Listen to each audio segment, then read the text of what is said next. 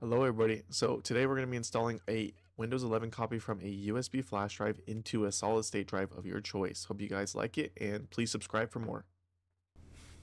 Alrighty, so once we're on the computer, what we're going to do is we're just going to open up our browser and we are going to type in Windows 11 install ISO. So it's probably going to be the first link that we get here. And then we are going to go to create Windows 11 media installation. So just click download now. We're going to do keep and we're going to open the file. And if it gives you a pop-up, click yes. Now we should be seeing this screen right here getting a few things ready. We want to make sure again that that USB drive is plugged in and 8 gigabytes at minimum.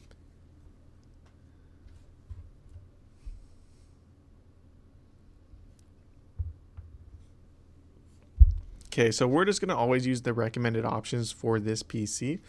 So I'm going to click next. I'm going to be doing USB flash drive. It needs to be at least 8 gigabytes.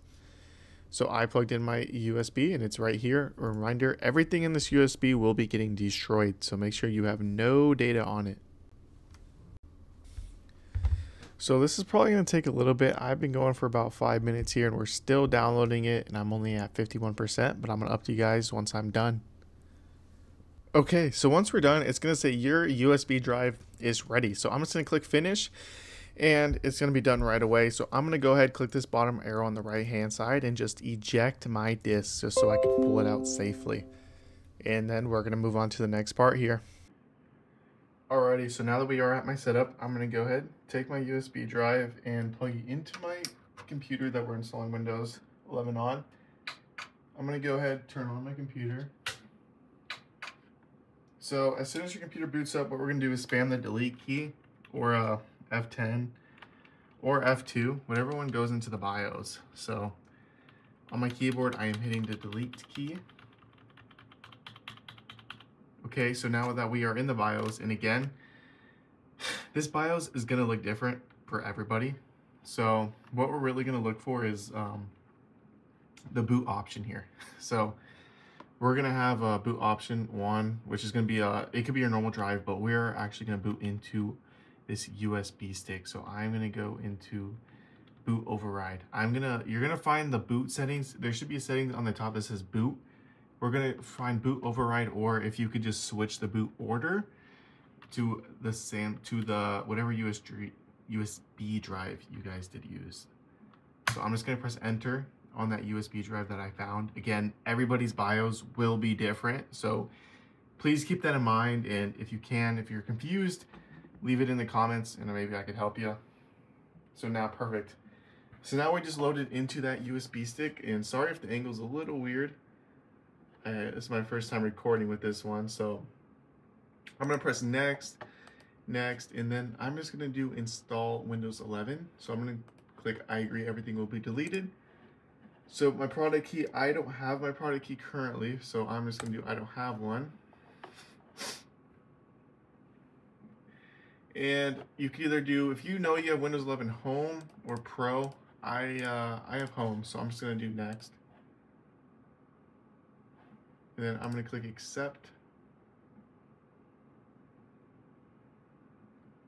And then it's going to find our hard drive that we have plugged in. So here is where people are going to get tripped up and confused. So disk one, I have two disk in. A lot of people will either have one disk in or two disk in or three. So disk zero is my SSD. That is going to be what we're going to put this ISO in. So I'm going to go ahead, click disk zero, click all the partitions, and I'm going to click delete. So I'm to click disk zero, delete. Disk zero, again, partition one, I'm gonna delete it. I'm gonna, again, click disk zero is now uh, unallocated space is the only thing. So I can't delete disk zero anymore. Disk one, that is gonna be my USB drive. And then I did format it where I have uh, another space for that. Again, if you have a disk two in here, you probably have an M.2 or a hard drive. So always pay attention to the total size. Don't delete everything in here. Just delete whatever is on that main hard drive and make sure you're, collect, you're uh, selecting the correct one. So I'm just going to click disk zero because that is the only SSD that I have in my system. So if you have more with like two terabytes, but you're installing on a one terabyte, please click the right size. So again, I'm gonna click disk zero, I'm gonna click next.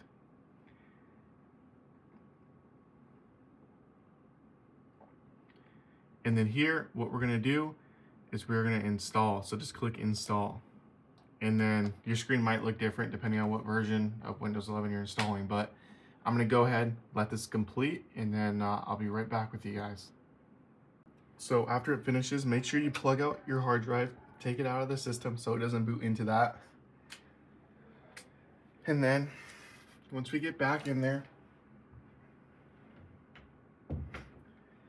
it's just gonna tell you that it's gonna go ahead, complete that Windows install and this might take, it depends on your hardware, but it took me around five, five to 10 minutes. So keep that in mind. Again, it's gonna be different for everybody. So just let it do its updates and make sure you have an ethernet cable. And if you don't have Wi-Fi, I'm gonna go ahead and show you how to skip that. So stay tuned for that one.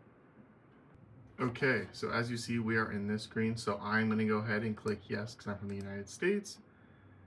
And then here, just again, click yes. And then I'm not gonna add another keyboard. So once we go ahead and get here, we are just gonna do Shift F10 on our keyboard. And it's gonna bring command prompt. Here, we're gonna do caps lock O-O-B-E. And then we're gonna do a slash. Oops, we gotta click in it. Make sure you click in it. And then O-O-B-E slash bypass. And then it's gonna be N-O-R. Oops, I think I did that slash backwards. Yep, I did. So after you get that slash the correct way, it's going to go ahead and load up without a Wi-Fi connection, and you should be able to install a local account this way. And you could definitely connect to the internet if you have a Microsoft account, but if you do not, you want to follow this way. So yeah, after you do that without the Microsoft account, it's going to do the same thing again. So we're going to have to set it up. And then just do I don't have internet. And then for the name, we're just gonna name this test. Click next.